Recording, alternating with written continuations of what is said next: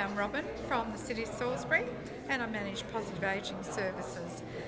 I've heard a lot about statistics that are coming up and we're going to be uh, faced with a lot of people suffering dementia and also uh, suffering from mental health situations, drug abuse, substance abuse, alcohol and I just hope that um, the state will be ready uh, for uh, providing the right facilities, the caring and the, um, team, the teams will be able to actually help those people and the families affected because we'll all be affected, whether it's directly or indirectly.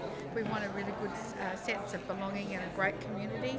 We need to address those really serious issues that the bubble is bursting now. Thank you. Cheers.